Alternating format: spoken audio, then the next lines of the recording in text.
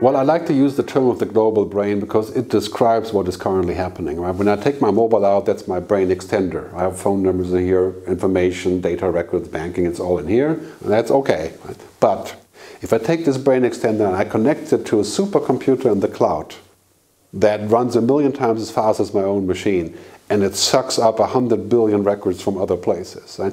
then this brain extender becomes a giant opener into a superhuman universe.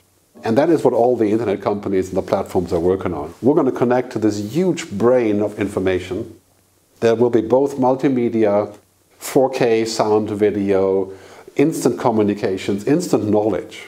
I mean, this is what we have always dreamed of. It's extremely tempting. So the global brain of Facebook, Baidu, Alibaba, Amazon, Apple, to some degree, Alphabet, Google, and so on, and IBM Watson will make us uh, basically want to be connected to that all the time. This global brain will be extremely powerful, extremely beneficial, but also extremely addictive. And I think it's also something that we have to regulate, we have to understand what it does, and we need to be able to have our own brain.